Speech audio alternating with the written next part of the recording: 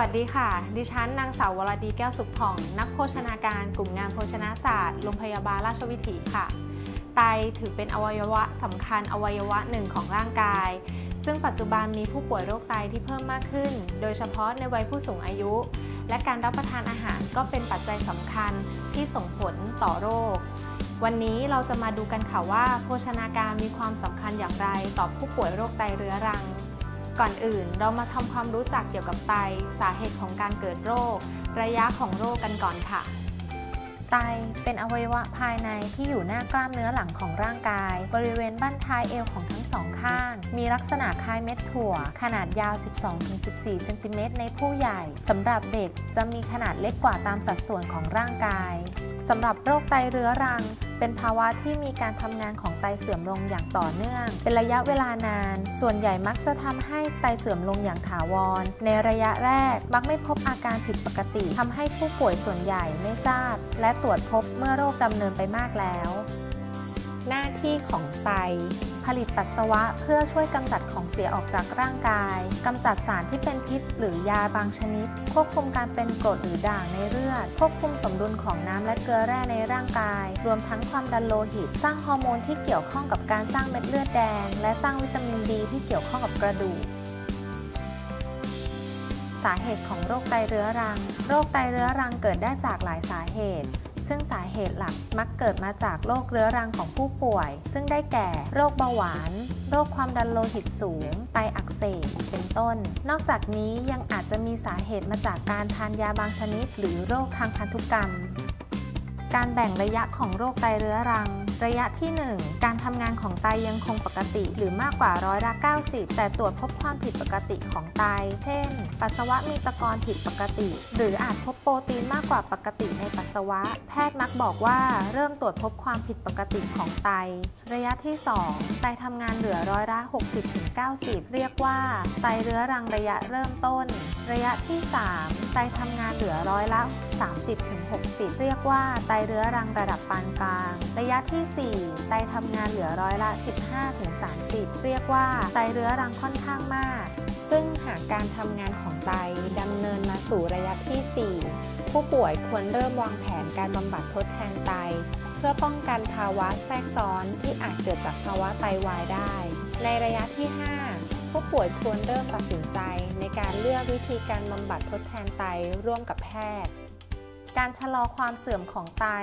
ควบคุมความดันโลหิตให้เป็นปกติ ควบคุมระดับน้ำตาล ให้เป็นปกติ ควบคุมระดับไขมันในเลือด ระดับ LDL ให้เป็นปกติ หลีกเลี่ยงการใช้ยาแก้ปวด ยาหม้อ หรือยาลูกกร งดสูบบุหรี่ ควบคุมน้ำหนักตัวและออกกำลังกาย รับประทานโปรตีนหรือเนื้อสัตว์ในสัดส่วนที่พอเหมาะ เลี่ยงการบริโภคอาหารที่มีไขมันอิ่มตัวสูง และอาหารรสเค็มจัด ต่อไปเรามาดูแนวทางการบริโภคอาหารสำหรับผู้ป่วยโรคไตเรื้อรังกันค่ะ โปรตีนคือสารอาหารชนิดหนึ่งที่จำเป็นต่อร่างกาย ในการเสริมสร้างและซ่อมแซมกล้ามเนื้อ รวมถึงระบบภูมิคุ้มกันของร่างกาย การรับประทานโปรตีนเข้าไป ร่างกายจะนำไปใช้ส่วนหนึ่ง อีกส่วนหนึ่งเกิดเป็นของเสีย ซึ่งไตทำหน้าที่ขจัดของเสียที่เกิดจากโปรตีนหากมากเกินไป ก็จะทำให้ไตทำงานหนักสำหรับผู้ป่วยที่มีไตเสื่อม อาจจะทำให้ไตเสื่อมเร็วขึ้น ในทางกลับกัน ถ้ารับประทานน้อยเกินไป ก็จะทำให้ขาดสารอาหาร ผู้ป่วยโรคไตเรื้อรัง ควรได้รับอาหารที่มีโปรตีนเหมาะสม เพื่อชะลอการเสื่อมของไต แหล่งของโปรตีน โดยแหล่งหลัก ของโปรตีน จะมีในเนื้อสัตว์ชนิดต่างๆ เช่น เนื้อหมู เนื้อไก่ เนื้อปลา ไข่ ในนม นอกจากนี้ยังสามารถพบในข้าวแป้ง ผัก และผลไม้ แต่มีโปรตีนในปริมาณที่เล็กน้อย โดยปริมาณเนื้อสัตว์ 2 ช้อนโต๊ะ จะให้โปรตีน 7 กรัม ในไข่ 1 ฟอง จะให้โปรตีน 7 กรัม ในนม 240 มิลลิลิตร จะให้โปรตีน 7 กรัม นอกจากนี้ยังพบโปรตีนในกลุ่มข้าวแป้ง และถั่วธัญพืชต่างๆ ซึ่งเป็นโปรตีนจากพืช โดยปริมาณข้าวแป้ง 1 ทัพพี ให้โปรตีน 2 กรัม การรับประทานอาหารโปรตีนจากพืชตระกูลถั่วนั้น มีข้อจำกัดในผู้ป่วยโรคไตเรื้อรัง หากบริโภคในปริมาณที่มากเกินไป จะส่งผลต่อปริมาณฟอสฟอรัสให้สูงได้ โดยในผักและผลไม้ซึ่งไม่ใช่แหล่งของโปรตีนหลักๆ แต่ก็มีปริมาณโปรตีน โดยผัก 1 ทัพพี ให้โปรตีน 1 กรัม ในผลไม้ 1 ส่วน ให้โปรตีน 0.5 กรัม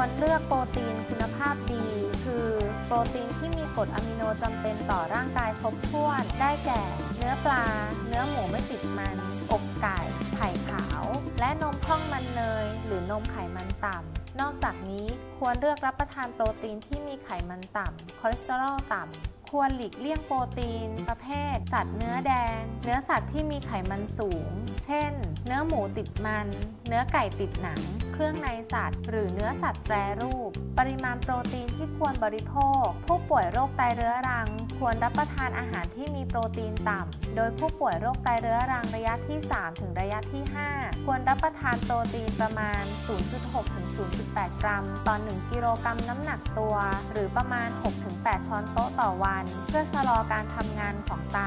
ตัวอย่างการนับปริมาณโปรตีนในอาหาร หากผู้ป่วยมีน้ำหนักตัวที่ควรจะเป็นอยู่ที่ 55 กิโลกรัม มีระยะการทำงานของไตในระยะที่ 3 จะสามารถคำนวณโปรตีนได้ โดยนำน้ำหนักตัวที่ควรจะเป็นคูณกับโปรตีน 0.8 กรัม จะได้โปรตีนที่ควรรับประทานอยู่ที่ 44 กรัมต่อวัน ซึ่งในขั้นตอนนี้ควรปรึกษานักโภชนาการ เพื่อคำนวณปริมาณโปรตีน หากต้องการเพิ่มปริมาณหรือมื้ออาหาร สามารถเลือกรับประทานข้าวแป้งที่ปลอดโปรตีนเพิ่มได้ เช่น วุ้นเส้น เส้นเซี่ยงไฮ้หรือหากรับประทานแทนข้าว ก็จะสามารถรับประทานโปรตีนจากเนื้อสัตว์ได้มากขึ้น โซเดียม คือเกลือแร่ที่มีอยู่ในเลือด และมีบทบาทต่อการควบคุมปริมาณน้ำและความดันโลหิต ในภาวะที่ไตไม่สามารถขับโซเดียมออกจากร่างกายได้ทำให้ผู้ป่วยมีอาการบวม และความดันโลหิตสูง การควบคุมโซเดียมในอาหาร จะช่วยรักษาสภาวะของน้ำในร่างกายให้อยู่ในระดับปกติ หลีกเลี่ยงการข้างของน้ำในร่างกาย และป้องกันความดันโลหิตสูง รวมทั้งการเกิดภาวะหัวใจล้มเหลว โซเดียมมีในอาหารเกือบทุกชนิด โดยเฉพาะเครื่องปรุง อาหารแปรรูป อาหารหมักดอง โดยปริมาณโซเดียมที่ควรบริโภคคือ 2,000 มิลลิกรัมต่อวัน หรือเท่ากับเกลือ 1 ช้อนชา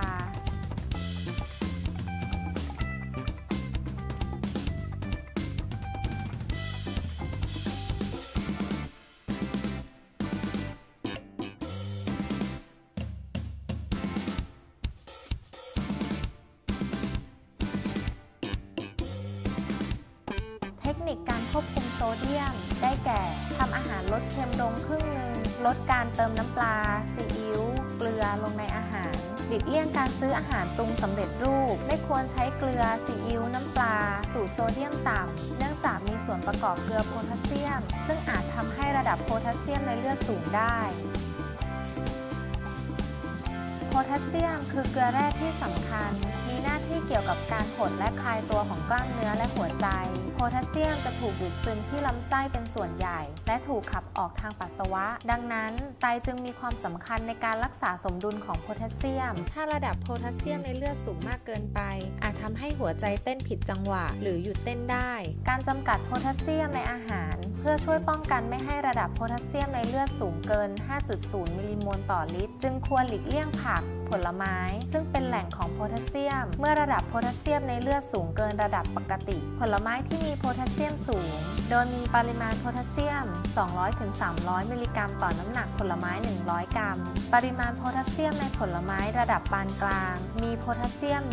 100-200 มิลลิกรัม ต่อน้ำหนักผลไม้ 100 กรัม ผักที่มีโพแทสเซียมสูง ได้แก่ ฟักทอง แครอทบรอกโคลีมะเขือเทศ หน่อไม้ฝรั่ง เป็นต้น ผักที่มีโพแทสเซียมต่ำ ได้แก่ ฟักเขียวกะหล่ำผักกาดขาว หัวไชเท้ามะละกอดิบเป็นต้น เทคนิคการลดโพแทสเซียม ควรหลีกเลี่ยงการรับประทานผลไม้ กลุ่มที่มีโพแทสเซียมสูง โดยสามารถรับประทานผลไม้กลุ่มที่มีโพแทสเซียมสูง ได้วันละ 1 ส่วน ในผักที่มีโพแทสเซียมสูง สามารถรับประทานได้วันละ1ทัพพี ฟอสฟอรัสคือแร่ธาตุที่มีบทบาทต่อความแข็งแรงของกระดูก ไตที่ปกติจะขับฟอสฟอรัสออกได้ เมื่อไตเสื่อมฟอสฟอรัสจะค้างในร่างกาย ฟอสฟอรัสที่สูงในเลือดจะทำให้แคลเซียมถูกดึงออกมาจากกระดูก เพื่อนำไปใช้ในการลดระดับฟอสฟอรัสในผู้ป่วยโรคไต ต้องควบคุมปริมาณฟอสฟอรัสในอาหาร เพื่อป้องกันและหลีกเลี่ยงโรคกระดูกที่อาจเกิดขึ้น นอกจากนี้ควรได้รับปริมาณแคลเซียมเสริมด้วย แหล่งอาหารที่มีฟอสฟอรัสสูง โดยผู้ป่วยโรคไตเรื้อรัง ที่มีภาวะฟอสฟอรัสในเลือดสูง ควรจำกัดการรับประทานอาหารที่มีฟอสฟอรัสสูง ซึ่งได้แก่นม และผลิตภัณฑ์จากนม เช่น เนย โยเกิร์ต ถั่วและธัญพืชต่างๆ เช่น ถั่วลิสง งา เมล็ดฟักทอง ผลิตภัณฑ์เบเกอรี่ พาย เค้ก ช็อกโกแลต หรือเครื่องดื่มที่มีสีเข้ม เช่น น้ำอัดลม ชา กาแฟ หรือเต้าหู้ หรือไข่แดง ปริมาณน้ำที่ควรดื่มคำนวณได้จากปริมาตรปัสสาวะต่อวัน บวกน้ำ 500 มิลลิลิตร เนื่องจากการทำงานของไตในผู้ป่วยไตเรื้อรังลดลงทำให้ความสามารถในการขับปัสสาวะของผู้ป่วยลดลงได้ อาจทำให้มีอาการบวมน้ำและความดันโลหิตสูง ถ้ามีอาการบวมน้ำ ให้ดื่มน้ำไม่ควรเกินวันละ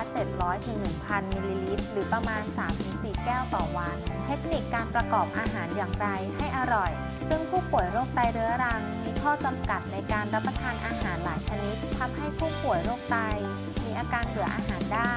ดังนั้นจึงมีเทคนิคในการประกอบอาหาร เพื่อให้ผู้ป่วยโรคไตได้มีความหลากหลายในการรับประทานอาหาร เลือกใช้น้ำมันในการประกอบอาหารที่เหมาะสม คือใช้น้ำมันรำข้าวในการผัดและทอด ซึ่งควรใช้ในปริมาณที่เล็กน้อย ใช้สมุนไพรหรือเครื่องเทศทดแทนรสชาติ เช่น พริก ตะไคร้ กระเพรา ข่า ขิง กระเทียม ใช้วัตถุดิบธรรมชาติในการประกอบอาหาร เช่น ใช้หัวไชเท้า ซี่โครงหมูหรือไก่ ในการต้มน้ำซุป ผักใบเขียวทุกชนิดสามารถรับประทานได้ หากนำไปลวกหรือต้มก่อน เพื่อลดปริมาณโพแทสเซียมในผักลง เป็นอย่างไรบ้างคะ หลังจากได้รับข้อมูลกันไปแล้ว หวังว่าท่านจะสามารถนำความรู้เหล่านี้ไปปฏิบัติกันได้นะคะ และหากมีข้อสงสัยเพิ่มเติม ควรปรึกษาแพทย์ ผู้เชี่ยวชาญหน่วยโรคไต หรือนักโภชนาการ กลุ่มงานโภชนาศาสตร์ โรงพยาบาลราชวิถี เรายินดีพร้อมให้คำปรึกษาทุกท่านค่ะ สวัสดีค่ะ